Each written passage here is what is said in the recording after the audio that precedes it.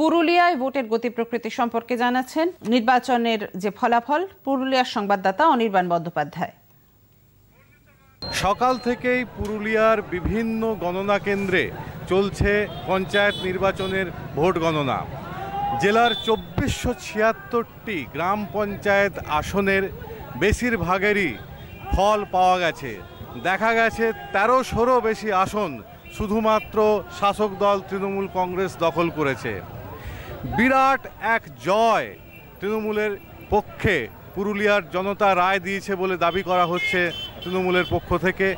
এর সাথে সাথে দেখা গেছে যে বিজেপিরও বেশ কিছু আসন এবারে এসেছে।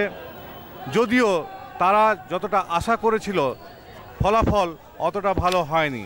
এখনও পর্যন্ত গ্রাম পঞ্চায়েতকে কতগুলি দখল করেছে, তার স্পষ্ট কোনো তথ্য জেলা প্রশাসনের তরফে জানানো না হলেও জেলা তৃণমূল সভাপতি সৌমেন বেলথরিয়া দাবি করেছেন যে একশো পঁচিশটি গ্রাম পঞ্চায়েত ইতিমধ্যেই তারা দখল করেছেন।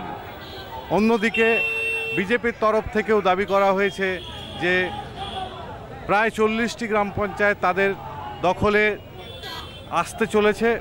শুধু এক- এককভাবেই যে বিজেপি পাবে তা নয়, তবে তারা এই চল্লিশটি গ্রাম পঞ্চায়েতের ভাগ্য নির্ধারণ করবেন। সিপিএম এবং কংগ্রেসের তরফ থেকেও আমরা জানতে পেরেছি তারাও বেশ কয়েকটি করে আসন পেয়েছেন। তবে পঞ্চায়েত সমিতি এবং জেলা পরিষদের আসনের কি হলো তা জানতে এখনও অপেক্ষা করতে হবে।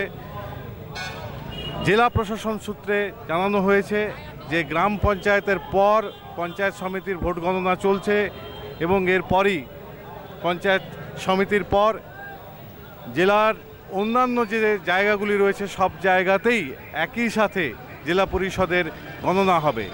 সবে মিলে সম্পূর্ণ ফল পেতে বা সম্পূর্ণ ফল জানতে আরও বেশ কিছুটা সময় লাগবে।